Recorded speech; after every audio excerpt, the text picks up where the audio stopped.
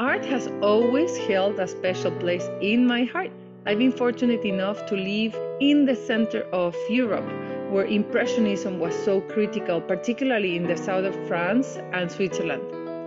Walking the same streets where renowned Impressionist artists once lived, I try to make the experience a part of my life at least once a year.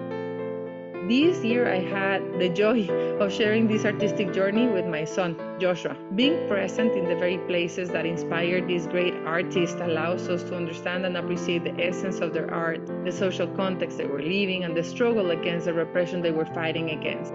As a passionate advocate for social justice and a firm believer in the power of art to break barriers, I find myself drawn to artworks that represent social challenges and the fight against repression. Such pieces not only show the need for voices to be heard, seen, and exposed, but also represent the essence of our Latino culture, our passion, our colors, and our emotions.